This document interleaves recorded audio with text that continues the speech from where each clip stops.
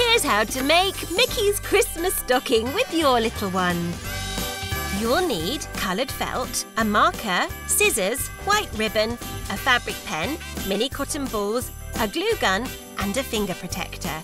And remember, all steps using the glue gun and finger protector must be done by adults only. First, take two pieces of red felt and lay them on top of each other to form a stocking shape. Using a marker pen, draw the outline of a stocking onto the felt and cut it out. Then, carefully use the glue gun along the edge of the felt to stick the two pieces together, using a finger protector to firmly dab them into place. Repeat this process to make two pieces of the stocking.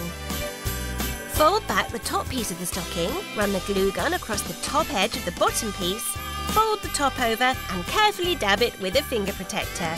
Repeat this on the other piece and then glue along the inside edges to stick the pieces together.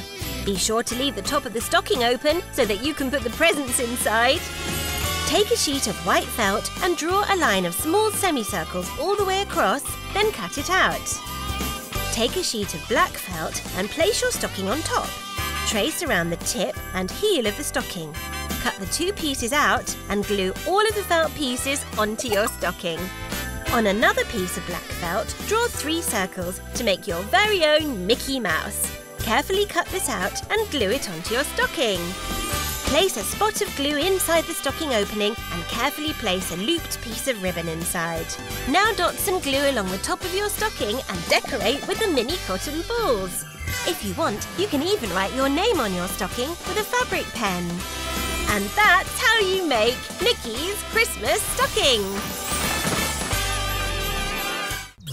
Your screen for more videos and tune in to Disney Junior to watch your favourite shows.